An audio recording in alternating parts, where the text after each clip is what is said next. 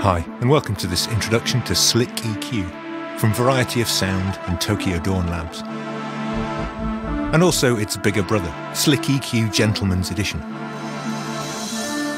Slick EQ provides three bands of EQ, plus a high pass filter, with optional saturation, and a distinctly analog style sound and workflow, and is generously provided as a free download while for a small license fee, the Gentleman's Edition comes with some extra EQ and saturation models, plus useful extra features such as a tilt EQ or a low pass filter.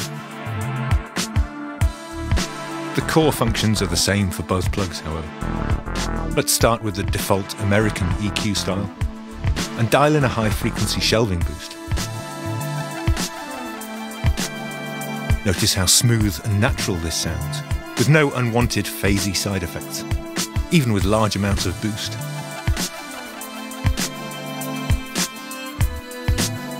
Or when switched to a bell shape instead of a shelf.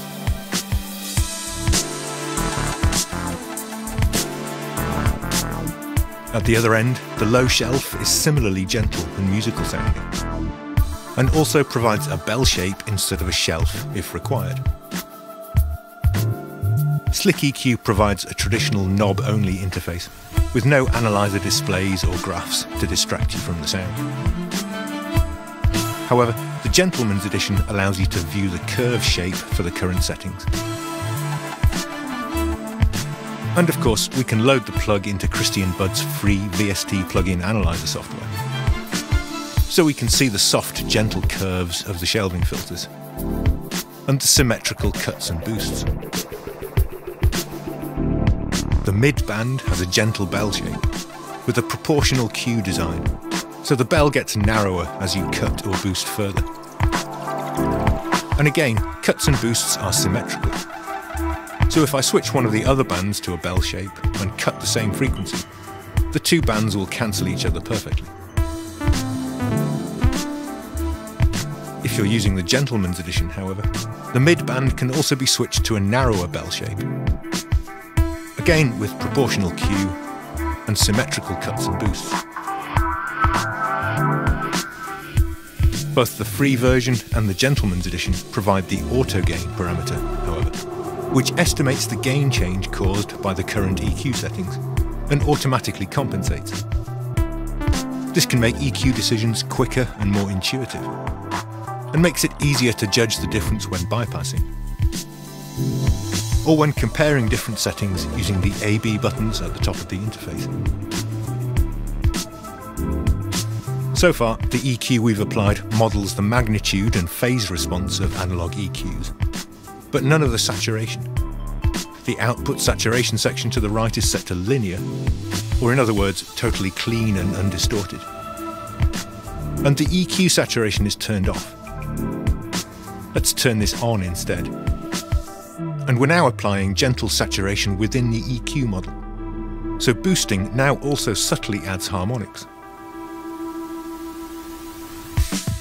Saturated high-frequency boosts can help to add a glossy sheen to the treble. While boosting lows can make the bass richer and thicker, as well as just louder.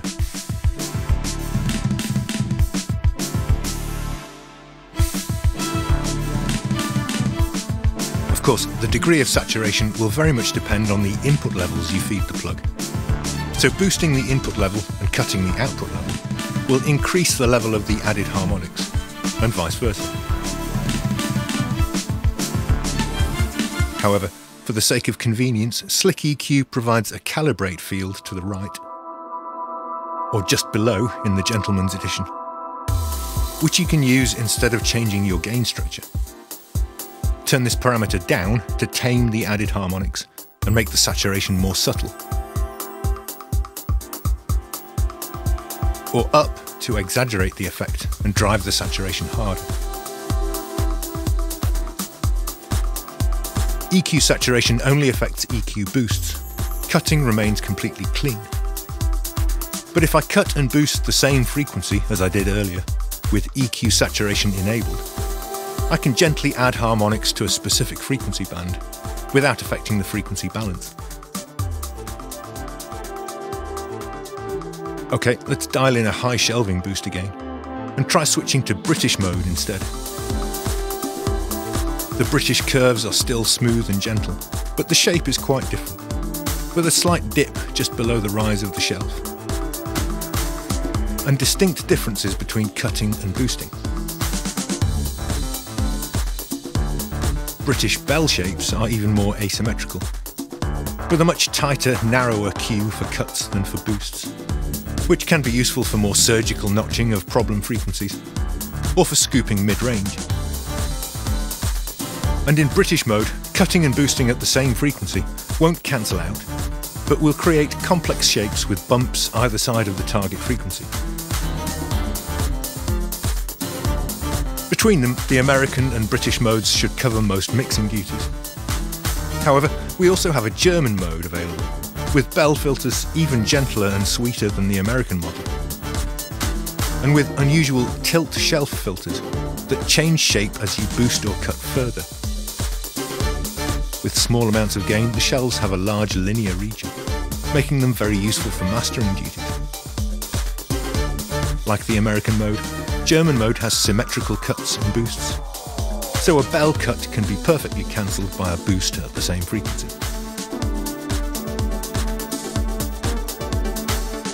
Switching to Soviet mode, we again find shelves that change shape dramatically depending on the amount of gain applied but this time small amounts of cut or boost produce a relatively sharp and well-defined shelf. While larger cuts or boosts have a much gentler, smoother transition. In a similar manner, Soviet mode bell filters are much narrower and more surgical than the previous three modes when only small amounts of gain are applied. But have a unique inverse proportional Q, so the bell gets wider and gentler with larger cuts or boosts. This makes Soviet mode useful for subtle surgical tweaks. Or for broad brush reshaping of the source sound with more extreme gain settings. Like the British mode, cuts and boosts are not symmetrical, with cuts a little narrower than boosts. The Gentleman's Edition also offers a fifth, Japanese EQ mode, this is the most surgical of the types available, with steeper shelves when cutting. And the proportional Q bell shapes are much narrower when cutting than when boosting. Switching the midband to the narrower bell shape allows you to target resonances at specific frequencies with sharp, narrow cuts. Both versions of the plug also provide a high-pass filter, which, importantly, is applied after the EQ section. This means that you can add extra harmonics to the bass with a saturated low frequency boost. And then clean up the low subs without removing those harmonics, which can help to preserve the impression of deep bass. Users of the Gentleman's Edition also benefit from an alternative shape for the high pass filter, with a bump centered an octave higher than the cutoff so you can enhance the low fundamental of a kick drum, for example, while cleaning up the sub-frequencies below it. This version also features an on-off switch for the high-pass filter. With the standard version, you can bypass the filter by turning it down below 10 Hz. Okay, let's take a closer look at the output stage saturation I alluded to earlier. Linear mode is clean and undistorted, though you may still be saturating within the EQ section if this is enabled. But the other modes all add subtle harmonics and gently smooth out transients in the manner of expensive analogue equipment. And each type has a different dynamic response and will add different patterns of harmonics. Note that even with calibrate turned all the way up, the distortion remains relatively subtle. The aim is not to provide obvious guitar amp style distortion, but rather the subtle character and mojo of analog transformers and valve stages. Small amounts of this kind of subtle distortion can sometimes make signals seem clearer and better defined, or thicker and richer. And if you're using the Gentleman's Edition, you will have an extra two saturation styles to choose from. Excited and Toasted, as well as the silky, mellow and deep options available in the Standard Edition. When loaded into a stereo channel, Slick EQ provides a choice of channel processing modes at the top. If you're actually processing a mono signal, you can switch to mono mode and save a few CPU cycles. This can be useful in hosts such as Reaper or Tracktion that don't provide true mono channels. Or you can process just the sum or difference channels, otherwise known as middle or side. And can use two instances if you want independent EQs for both mid and side channels at the same time.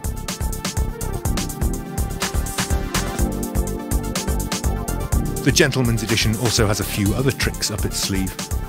A switchable low pass filter, with a choice of gentle or extremely gentle slopes. Or the uniquely linear tilt filter, which tilts the frequency response either side of the centre frequency. This is a great way to make your program material brighter or darker without changing its fundamental character. The tilt filter also has an alternative V-shape mode, which produces a gentle smile curve when turned up. Or a frown when turned down.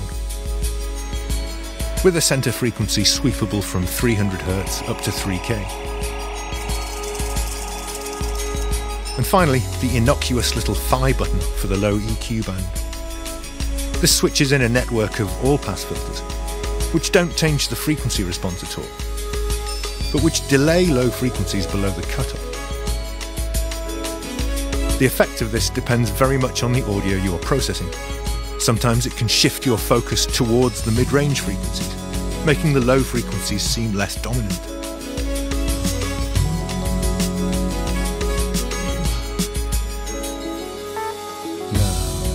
Or it might do the opposite, making bass notes appear to sustain a little longer or it might help to soften transients in a pleasing way. The phi function can also help to make waveforms more symmetrical.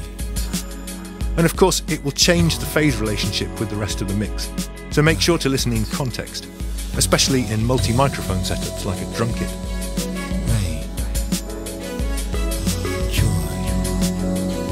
That's all I've got time for in this video, but if you need more information, you can enable the online help button for context-sensitive hints.